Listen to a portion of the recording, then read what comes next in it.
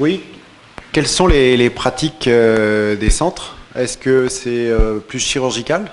Euh, La pratique du KT J'ai l'impression qu'elle est plutôt exceptionnelle. Marseille Virginie Stéphane KT. Quelle taille du trou? Oui, parce que ce qu'on voyait là, dans ce.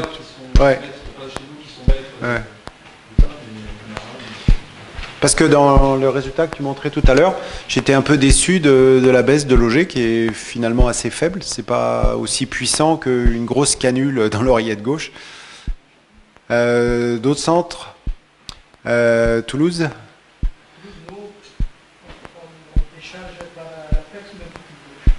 Par l'apex du ventricule gauche, d'accord. D'accord. Je une plus efficaces pour les chirurgiens. C'est chirurgical.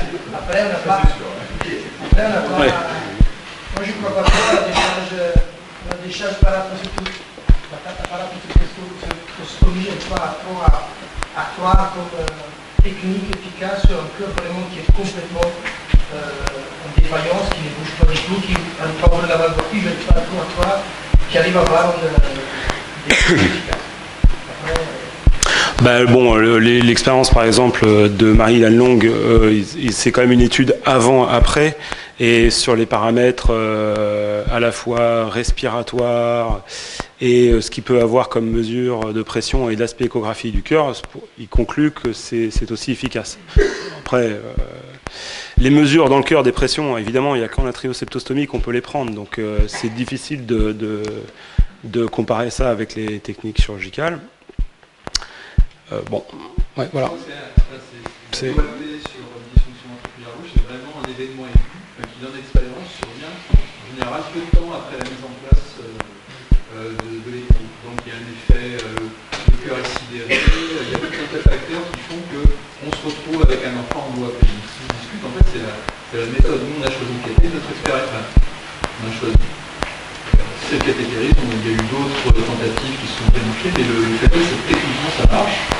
L'eau à régresse euh, dans les, dans les 12 heures qui suivent.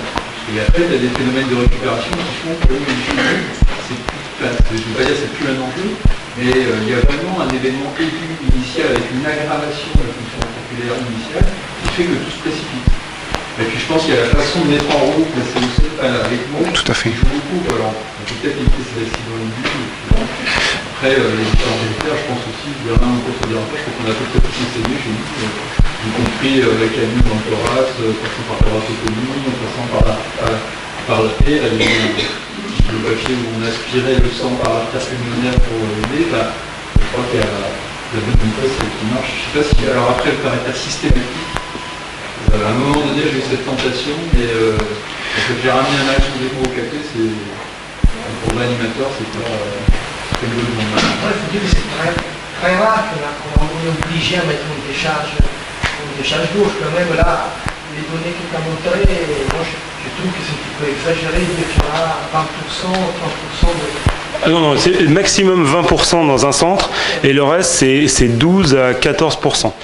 Donc, euh, ouais. Euh, même 10%, je pense que c'est beaucoup. Bah, 10% à centre de pédiatrie, ça fait 2 à 3 par an. Oui. Ça reste rare, hein, c'est sûr. Hein. Non, mais 10%, c'est pas beaucoup. Parfois, on arrive avec un petit peu des, des supports métropes à avoir une injection ventriculaire gauche suffisant pour, pour éviter d'avoir tous les problèmes liés, bien sûr, à, à l'augmentation de la, de la, de la prochaine pression qui monte, Sinon, on décharge. Oui, oui. Alors, ouais, décharge. Moi, j'aurais un certain nombre de commentaires.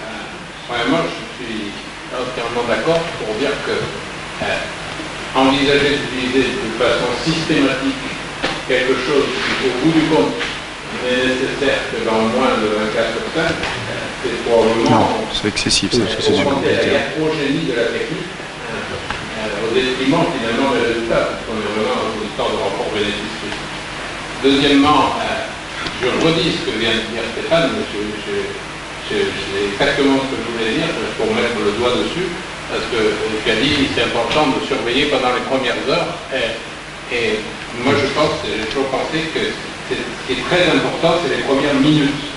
En fait, très souvent, hein, plus l'enfant est petit, plus le démarrage en ECMO, ça fait une espèce d'émodilution, une dilution des drogues, une dilution, enfin ça fait une perturbation qui est loin de toute euh, perturbation extra-physiologique complète.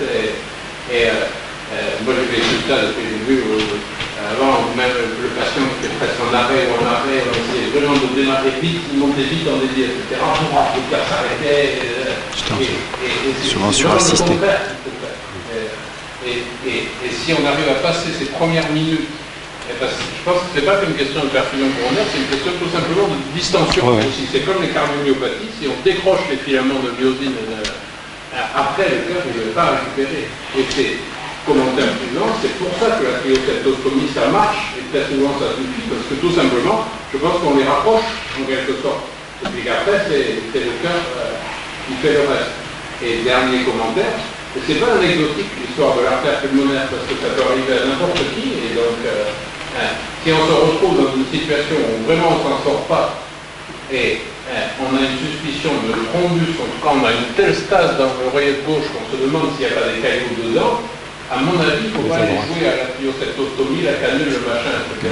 Par contre, déchargé par l'artère pulmonaire, beaucoup de gens qui ont fait la chirurgie cardiaque, ça, il y a beaucoup d'équipes où euh, la chirurgie coronaire, par exemple, parce qu'avec un, un dans le tronc d'appel, on aspire dans le tronc d'appel, on vide le lit pulmonaire, donc on vide l'oreiller gauche. Hein.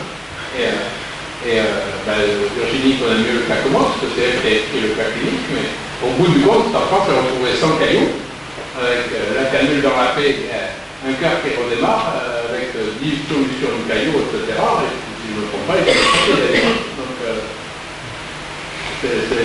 c'est pas à négliger. Hein, il faut garder ça à l'esprit, ça peut sauver un enfant, le cas échéant, que ce soit par cathétérine, puisque là c'était par cathétérine, ou même chirurgicalement. On avait, on avait cathétérisé l'artère fémorale en fait en salle de café, on avait, en fait, on avait monté une canette cognitive pour le fameux en fait. La difficulté, c'est qu'il faut les canules qui soient suffisamment longues, en fait. Et bon, comme c'était un enfant de 3 ans, on avait une euh, assez longue, mais c'est des enfants euh. On va s'arrêter pour on euh,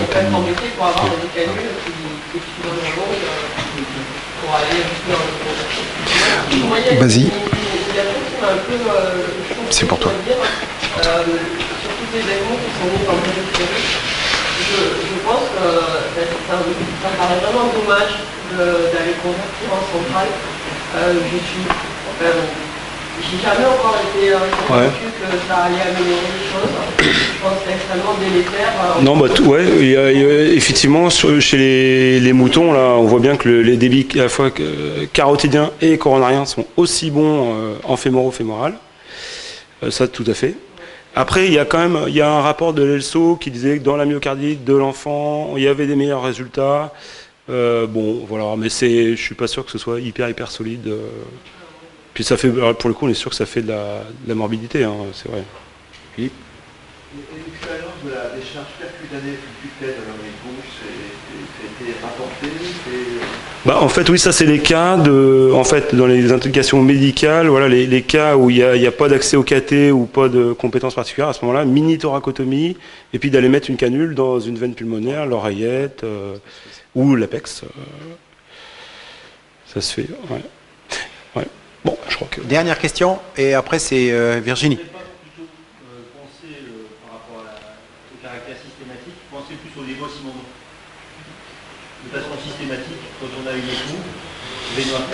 que euh, penser pas le contraire. Euh, ouais. Ben, c'est un bon moyen de prévention. Ouais, ouais. On a cette attitude, de systématiquement quand on met en artérielle l'enfant sous dévoissement d'eau. Et du coup, on n'a pratiquement pas d'expérience de décharge On est un petit centre, mmh. mais ouais. je me demande. En fait, euh, bon, moi, j'ai surtout de l'adulte, euh, d'un mort imminente, du cœur très très sidéré. Euh, et on n'a pas de chir cardiaque. Donc sur les, les moyens d'intervention, c'est limité, c'est euh, le caté transeptal en salle de rythmo avec un intro, euh, un stretch. Euh, il y a deux situations. La situation, on a ventricule qui est qui dilate petit à petit, donc on suit la fuite aortique et puis finalement la fuite mitrale et on a le temps de dire est-ce que je tente les inotropes, une éjection, etc. Ça, on peut réfléchir un peu. Et puis il y a la situation de sauvetage, il y a le, le viol aigu de la valve mitrale avec euh, la dialyse pulmonaire au début. Et ça, euh, on a eu trois cas sur, notre série. Quand on met la canine de décharge branchée activement sur la, sur la voie droite, c'est en deux minutes, ils arrêtent de mousser. Bien sûr. vraiment, euh, il y a vraiment le cas sur aigu où là, il y a de toute façon que la décharge. Et puis après, le cœur qui se dilate, on ne sait pas trop euh, comment faire. Faut- on a un peu le temps de voir et d'évaluer, mais c'est pas tout à fait pareil. Tout à fait. Ok, on va être obligé de s'arrêter. Virginie, on regarde la montre pour 17 heures.